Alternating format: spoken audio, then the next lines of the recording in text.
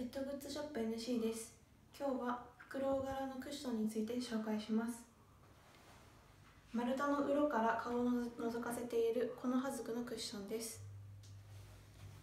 表も裏もとてもリアルに作られています。厚みのあるクッションなのでとてもふかふかしています。